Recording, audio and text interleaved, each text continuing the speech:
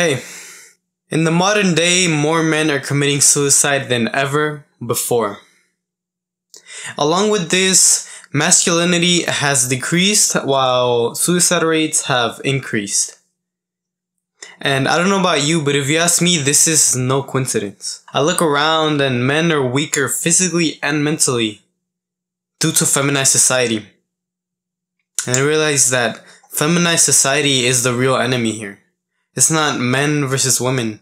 Because I know a lot of you are, a lot of you, if, if there's any women watching, y'all are already triggered like, oh my god, he's so misogynistic, thing, whatever. Shh, like, shh, like before you even know what I'm saying, don't even start judging. This is not towards women. Feminist, feminized society does not mean that I am anti-women or that I am against women. So don't draw your conclusions. Just listen. I've been a very feminized, feminine man for most of my life. Well, for, yeah, you can say most of my life. I was confused just like you. You know, just doing what everyone told me to do. You know, it's okay to be emotional. Just be, be emotional. Like, it's okay to cry and whatever, this and that. And I was confused. I wasn't happy. I was not masculine. I had a deep desire inside of me to be that masculine man that everyone just like you wants to be. Then I discovered amazing, masculine, fulfilling, strong men of today, which include YouTubers like Hamza, Andrew Tate, David Goggins. These men, I started practicing what they praised. I practiced more masculine activities. I started working out. I put myself through physical and mental pain, through suffering, through literal int- intentional suffering because the generation of today, I am one of the first generations of weak men. The generations before me still had to go through pain. And guess what? The generations before us, a hundred years ago, there was there was not as many as many suicide rates. Like, the, how does that make sense? How come when there was little little freaking war in the world? Yes, like you can say, oh, it wasn't talked about as much back then, but there was still it doesn't change the fact that the suicide rates were not as high. How come in, in Western industrialized countries in which life is so much more comfortable for men, suicide rates are rising? Like, how does that make sense? Comfort is killing men, the men of today. And I know some of y'all feminized men and feminists are looking at this and being all confused and this whatever, but let me explain how making men strong, because I want to make men strong again, will help our confused society of today, which is very confused. Masculinity makes men go through intentional suffering and pain through things like working out, meditating, and actually setting big goals for yourself for the future, like setting financial goals and stuff like that. This makes men go through physical and mental suffering slash pain, which is intentional. And this eventually creates better families in the future, stronger men mentally as well as physically, which create better families. They teach the kids a lot better things because what happens nowadays is that feminized society has told us because I know because you're watching this right now. Ever since you were a kid, you were always told, "Oh, be an emotional man, be this and whatever." And this is not to say because no, no, no. Let me let me finish because I know some of you are saying, "Oh my god, like being emotional is totally fine." I know a lot of people are saying, "Oh, being emotional is totally fine." A lot of women are saying that right now. But when men, when women say that, so they want an emotional man, they don't know what they're talking about. When they say they want an emotional man, they mean a man that expresses his feelings, that gives her details, that shows her his love through little details like that. But that is not being emotional. Being in touch with your emotions and being emotional are two completely different things. Telling us to be emotional is telling us to learn and have our behavior be influenced completely by our emotions being emotional means that your your behavior is influenced very easily by your emotions.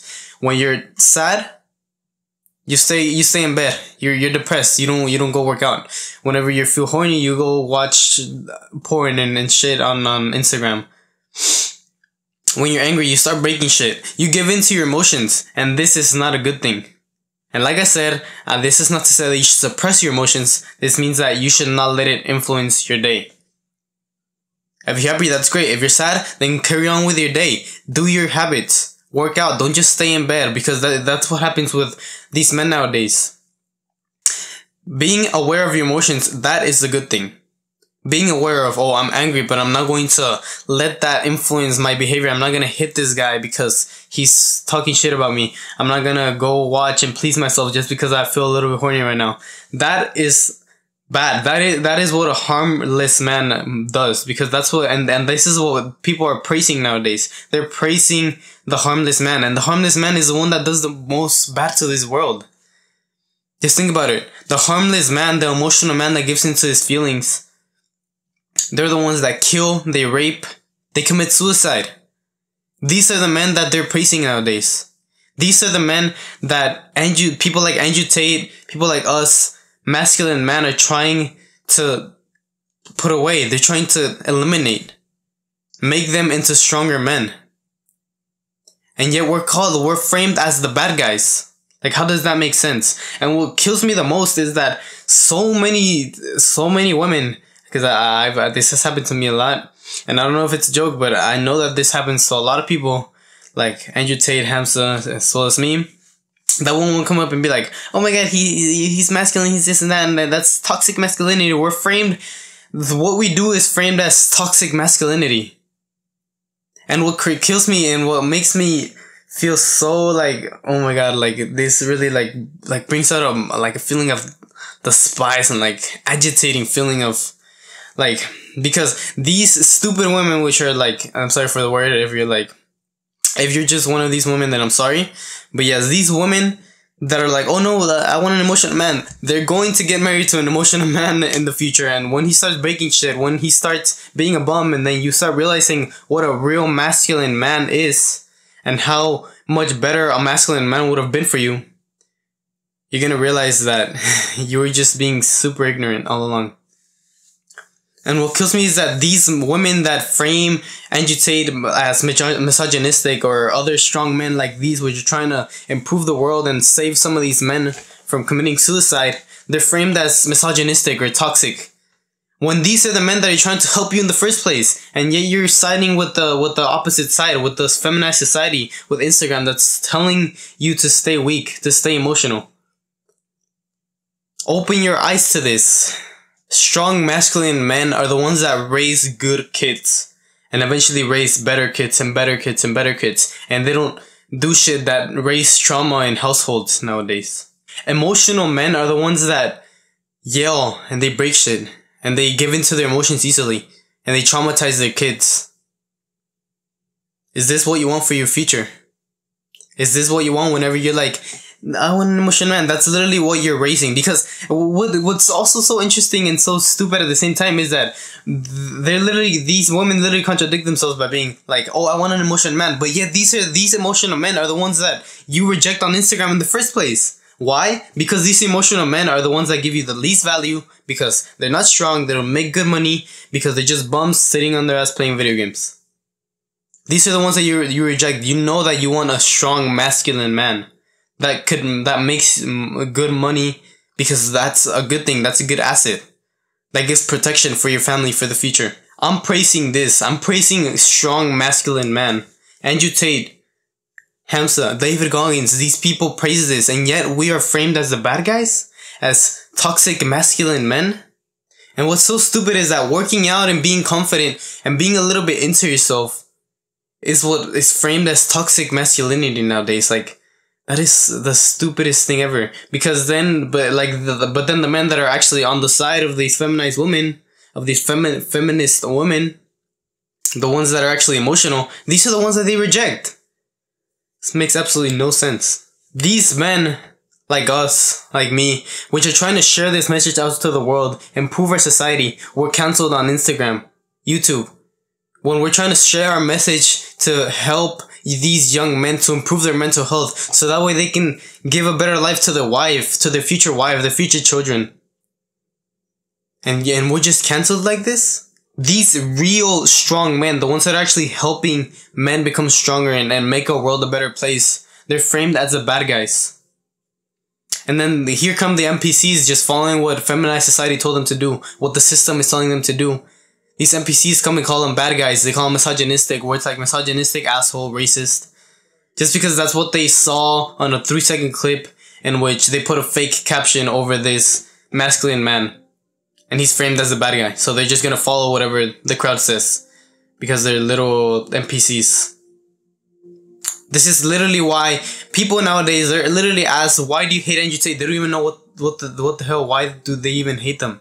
They're asked why they hate him, and they're like, "He's misogynistic." Like, what is that? Define misogyny for me. You don't know. You're you're literally like imagine being so programmed by the system that you have strong emotions over an influencer, a man, and you don't even know why. like, eh, literally think about that. If you are an agitate not supporter, if you do not like him, tell me, give me a good reason why, and don't be like, oh, he's misogynistic. He says this. He says that. Give me a valid reason. And the sad thing is that these people, they're siding with the enemy.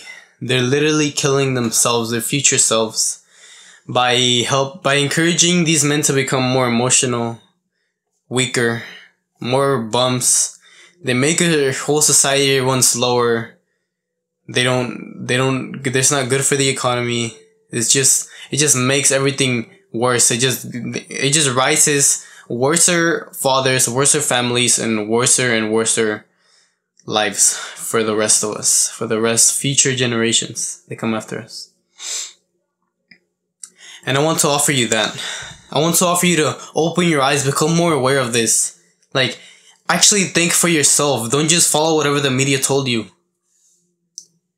Because, because practice becoming a more masculine man if you're a man Practice these masculine masculine activities. Put yourself through discomfort, through pain. Work out. This will build strong mental as well as a strong body. A strong mind and as well as a strong body. And even if if you have nothing to do with fitness, this is going to help you overall in the future of your life. Like I said, stronger men bring better lives for the rest of us, for everyone.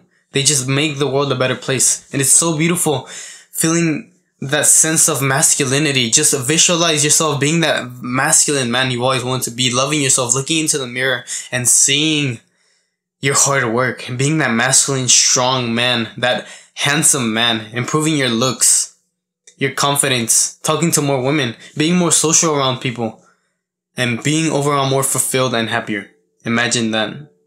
You can change this. You can become this man and put an end to these emotional emotional encouraged men of today make men strong again share this message out because being masculine does not mean breaking shit and giving into your emotions being a being some being a man that's just angry all the time that is not what masculine is that is not what masculinity is this is what feminized society sees it as nowadays, but this is not what masculinity is. Breaking shit and giving giving into your emotions, that is what an emotional man does. Open your eyes to this. So it's your choice. You can stay silent, follow the crowd like you've been doing, and be that emotional man, unfulfilled, unhappy of how you look, of how you act, of how shy you are around social situations, or you can put an end to it, into this. Open your eyes, become that masculine man. Put yourself through through intentional pain and suffering by working out, practicing good masculine habits, and becoming that man you've always wanted to be.